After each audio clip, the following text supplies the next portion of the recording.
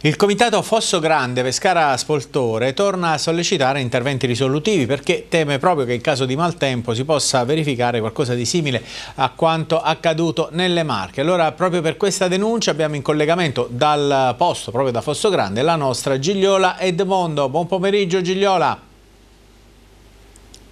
Gigliola? Sì, direttore, buon pomeriggio con Andrea Berardinelli. Ci troviamo Eccoci. in Viale Abruzzo, in territorio di Spoltore. Sono in compagnia di alcuni dei componenti del comitato Fosso Grande per tornare a lanciare un nuovo appello, l'ennesimo perché è un problema annoso quello del quale parliamo e cioè in caso di maltempo l'esondazione produce allagamenti in questa e nelle aree limitrofe. Alla luce di quanto avvenuto recentemente nelle Marche il Comitato è fortemente preoccupato. C'è la promessa di futuri e immediati interventi, ma chiedo subito al, ad uno dei portavoce del Comitato, al professore Alfonso Nori, al momento qual è la situazione e quali sono i vostri principali timori?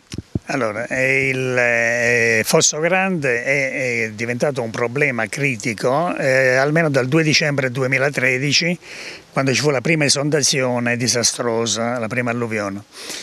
E successivamente, eh, sotto pressione eh, del comitato civico che si è costituito alla Bisogna, sono stati eseguiti dal Genio Civile della Regione Abruzzo lavori per 600.000 euro nel, eh, stiamo parlando del 2016.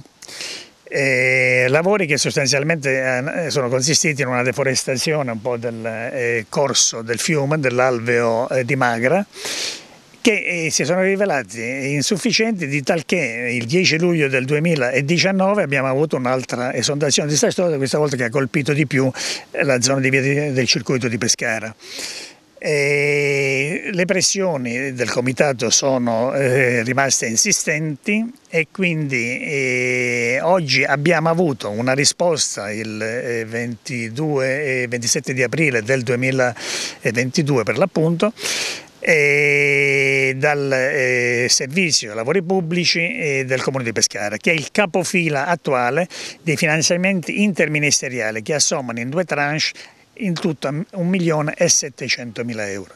Una prima tranche ci dice il, eh, la sezione lavori pubblici del Comune di Pescara dovrebbe essere immediatamente utilizzata, doveva essere immediatamente utilizzata dal maggio scorso pari a eh, un netto di circa 560.000 euro, al netto degli oneri accessori che sono pesanti, eh, progettazione, esecuzione, assicurazione e quant'altro. La situazione è questa che vedete adesso qui una nuova, una nuova, onda di piena qui non troverebbe alcun tipo di eh, deflusso perché eh, il canale è, è sostanzialmente ostruito da 50 anni di incuria, di mancata manutenzione, piena di eh, detriti, ma soprattutto dei fanghi di due esondazioni disastrose, come abbiamo detto.